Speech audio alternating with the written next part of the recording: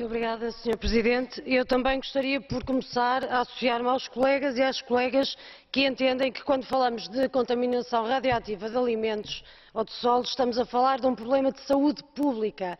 É essa, basicamente, a questão central. Desde logo porque os impactos que são sentidos em resultado desses problemas de contaminação excessiva em matéria de radioatividade são sentidos ao nível dos impactos para a saúde, nomeadamente através do aumento do número de cancros e outros. E, portanto, não nos adianta ter uma base jurídica que não ponha a saúde pública no centro da questão. Nós sabemos perfeitamente o quão importante é este debate, sabemos a partir de Chernobyl, mas não apenas por causa de Chernobyl. Agora, o que Chernobyl teve de facto de importante foi de nos mostrar a amplitude deste problema e o quão eh, ele pode afetar a vida das pessoas. E é bom que nós aprendamos com a história. Por isso, cabe-nos prevenir e regulamentar. E em matéria da proposta que aqui é apresentada, eu penso que a discussão hoje é clara. Em primeiro lugar, há o aspecto positivo de procurar trazer esta regulação para o domínio da saúde pública, como já referi. Em segundo lugar, eh, tentar acabar com algumas vezes eh, medidas avulsas e não raras vezes discricionárias.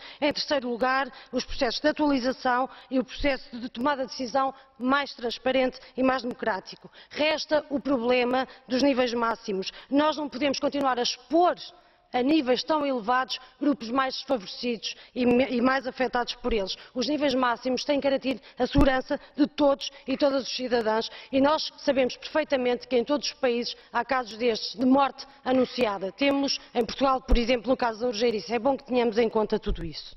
You.